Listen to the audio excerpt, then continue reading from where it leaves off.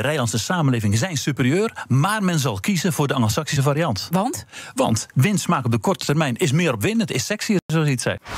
Als we kijken naar het huidige kapitalisme, waar we nu uh, staan, zegt u dan we zijn te ver doorgeschoten in dat kapitalisme? Uh, dat denk ik wel. Um, kijk, kapitalisme op zichzelf is een, uh, een neutrale term wat betreft de organisatie van de economie en wie heeft het eigendom. Maar kapitalisme kun je nooit loszien van een morele context. En als we het hebben over uh, de grote vragen van deze tijd, en er zijn mij betreft drie, uh, dan denk ik dat we niet op goed spoor zitten. En wat zijn die grote vraagstukken? Het klimaatvraagstuk. Mm -hmm. uh, dat heeft te maken met wat is de kwaliteit van leven op langere termijn. Het vraagstuk van grondstoffen, materialen. We zijn straks met 10 miljard mensen. Is dit handhaafbaar? En het thema ongelijkheid. Dat kan op een gegeven moment te ver gaan. En met name in de Verenigde Staten en in China speelt dat uh, vooral een rol. Maar dan is de vraag: um, hoe speelt een fenomeen als kapitalisme daarop in? En ik denk dat we op een aantal fronten wat uh, ver zijn gegaan. En vandaar ook het debat dat we nu zien over kapitalisme. Ja. Niet voor niks dat we deze week bij BNR hierover praten. Ja, zeker. zeker. Wij vinden het heel belangrijk om dit ook uh, te bespreken. Um, waar merkt u het aan dat het is doorgeschoten, dat kapitalisme? Nou, laat, een heel concreet voorbeeld. De uh, afgelopen jaren hebben we de bijeenkomsten gezien van het World Economic Forum. En ineens was daar de term stakeholder capitalism. Waarom gaan we niet praten over stakeholder capitalism? Dat komt ergens vandaan. Ja. En kennelijk is dat een uiting van het besef dat als je alleen maar oog hebt of te veel aandacht hebt voor de aandeelhouder, de shareholder, dan is dat een tekort. En uh, ik merk dat er een heel levend debat is wereldwijd. Um, ik kreeg nu bijvoorbeeld vanuit Japan het verzoek om binnen een paar weken een verhaal in Barcelona te houden over toekomst van het kapitalisme. En dat is een, een universiteit die, die heeft contacten overal in de wereld. Het feit dat ook vanuit Japan ineens zo'n vraag opkomt, is echt heel erg boeiend. Ik heb zelf meegemaakt, toen ik in Singapore was bijvoorbeeld, dat um, uh, nogal wat uh, mensen, mensen uit het bedrijfsleven, die pin dragen van de Sustainable Development Goals, de SDG's.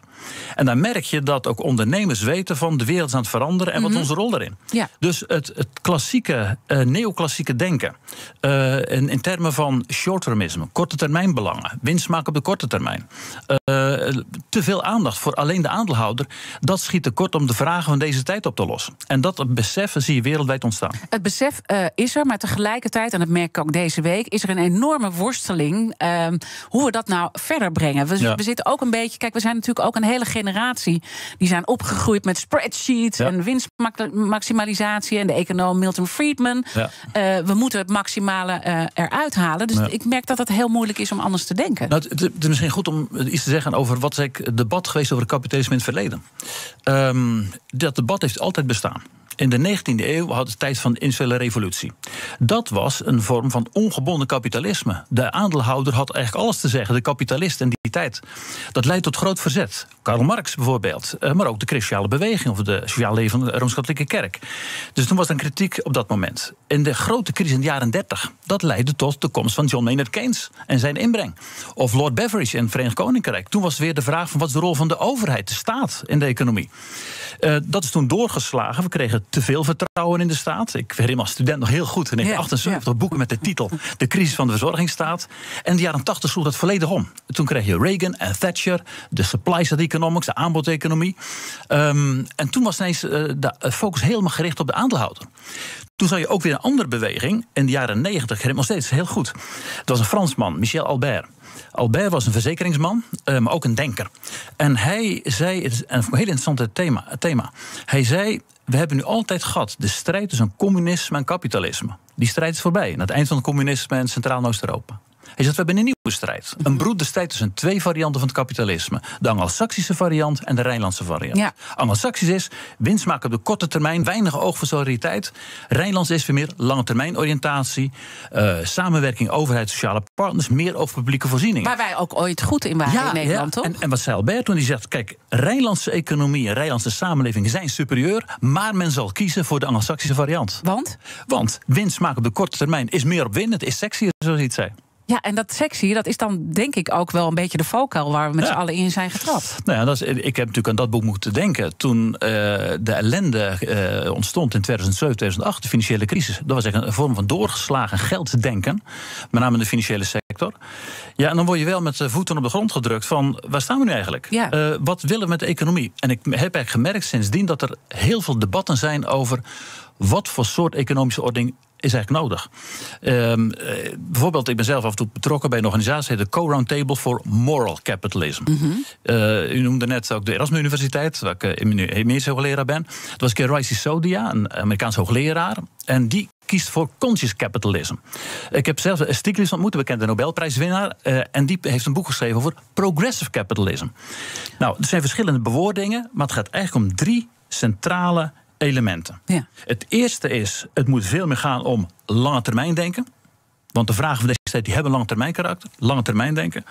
Het tweede is, neem afstand van de eenzijdige focus op de aandeelhouder, maar kies voor alle stakeholders. En de klanten en de medewerkers, de mhm. maatschappij en aandeelhouders. Mhm. En een derde uh, centrale element is, er moet een veel betere balans komen tussen ecologische, economische en sociale belangen. En, dat ik de, en als je dat op je laat inwerken, dan zeg ik dat is een, vind ik buitengewoon belangrijk voor de visie op de economie. Maar we schieten nog tekort. The Big Five. Diana Matroos. Mijn gast is Jan-Peter Balkenende, oud-premier, minister van Staat en emeritus hoogleraar aan de Erasmus Universiteit eh, Rotterdam. Um, we schieten tekort. Waar schieten we tekort? Er zit uh, wat mij betreft een, een, een, gap tussen de nieuwe oriëntaties en die tref je gelukkig op veel plaatsen aan. Nieuwe oriëntaties, uh, meer responsible capitalisme, verantwoord kapitalisme, uh, meer over de stakeholders. Maar de praktijk zien we toch nog vaak van dat er wel degelijk sprake is van short-termisme. Neem nu bijvoorbeeld grote ondernemingen of financiële instellingen. Um, eigenlijk zijn ze allemaal bezig met wat betekenen de Sustainable Development Goals voor ons. Wat doen wij aan duurzaamheid? Mhm. Dat is er wel. Maar tegelijkertijd het afrekenmechanisme is vaak nog heel kort termijn. Wat zijn jouw resultaten dit kwartaal? Je winstcijfers, je omzet, je kostenbesparing. In Amerika is er zelfs een beweging die keert zich tegen de criteria ESG. Environment, Social and Governance. Mhm. Dat zijn belangrijke criteria voor het doen van investeringen. Nou, op het moment dat um, mensen in Amerika zich er tegen gaan verzetten, dan is het net de richting die je niet moet hebben. Dus er zit een, een, een, een gap, een kloof tussen nieuwe oriëntaties en nog oude methoden. Ja.